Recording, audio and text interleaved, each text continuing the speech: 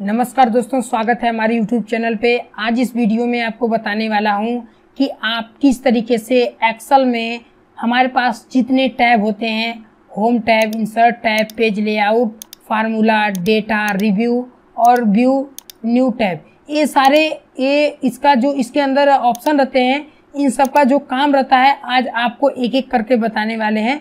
जैसा कि यहाँ पे पहला आपका आता है होम होम टाइप के अंदर ये जितने ऑप्शन है, इनका क्या काम है, आपको कंप्लीट बताने वाले हैं।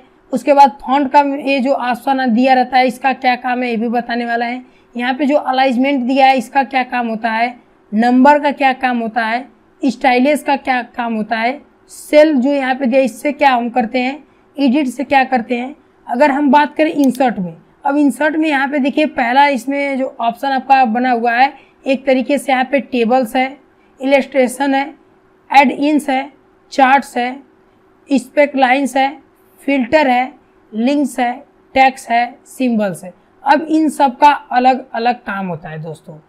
अगर हम बात करें पेज लेआउट का तो इसमें पेज से रिलेटेड हम काम कर सकते हैं। जैसे पेज पे अगर हमें कोई थीम्स अप्लाई करना है तो इस ऑप्शन में जाकर हम कर सकते हैं। अगर हमें पेज सेटअप करना है प्रिंट करने से पहले तो यहाँ से हम जा सकते हैं। अगर हमें अपने पेज को फिट करना है प्रिंट करने से पहले तो इस ऑप्शन में जा सकते हैं। सीट ऑप्शन अगर हमें सीट से रिकॉर्डिंग कोई काम करना है, मान लीजिए ये जो हमारे पास रूलर दिख रहा है रो एंड कॉलम का यहाँ पे जो हमारे पास बॉक्स दिख रहा है, इसको हटाना चाहते हैं तो ग्रीन लाइन यहाँ से हटा सकते हैं। देख सकते हैं, सादा हो गया। उसके साथ साथ यहाँ पे दिया है अरेंज अगर हमने कुछ फ़ोटो इमेज उसको लाया हुआ है, अगर एक पे एक आ गया फ़ोटो तो उसको हम नीचे ऊपर यहाँ से कर सकते हैं। अब बात करते हैं फार्मूला का। जो फार्मूला टैब होता है दोस्तों इसमें फ़ंक्शन लाइब्रेरी होता है। यानी आपके अगर फार्मूला याद नहीं है एक्सल में तो आप यहाँ से फार्मूला को ला सकते हैं इंसर्ट कर सकते हैं जो कि अलग अलग है। उसके बाद डिफाइन नेम्स दिया है। अगर आप अपने पेज पे कोई ऐसा आ, मतलब चैप्टर बनाना चाहते हैं तो आप डिफाइन नेम्स में जाकर कर सकते हैं। उसके बाद दोस्तों इसमें अगला आता है आपका फार्मूला ऑडिटिंग अगर आपके फार्मूला में कोई चेंजेस करना है तो आप यहाँ से कर सकते हैं।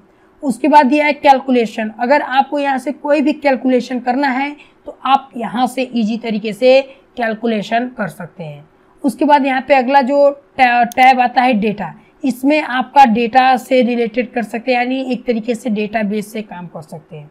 उसके बाद यहाँ पे अगला जो आता है रिव्यू रिव्यू का मतलब होता है कि इसमें आपका जो भी लिखे हैं टेक्स्ट वगैरह, उससे रिलेटेड आप काम यहाँ पे कर सकते हैं। स्पेलिंग चेक कर सकते हैं। थेसस अप्लाई कर सकते हैं, इसको सीट को लॉक कर सकते हैं, ये सारे काम कर सकते हैं।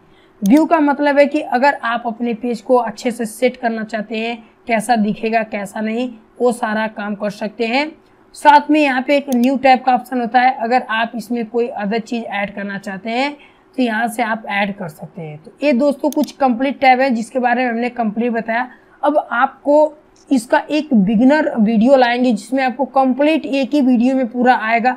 अगर एक साथ वीडियो नहीं आता है तो आपको एक एक वीडियो में एक एक पार्ट लेकर चलेंगे। जैसे यहाँ पे होम टैब एक टैब दो, तीन, चार, पाँच छः सात, आठ। यानी एट डेज़ में आपको ये सारे पार्ट कंप्लीट कर देंगे। तो तब तक के लिए इतना ही। तब तक के लिए thank you good bye take care मिलते हैं नेक्स्ट वीडियो पे और नेक्स्ट टॉपिक तब तक के लिए जय हिंद।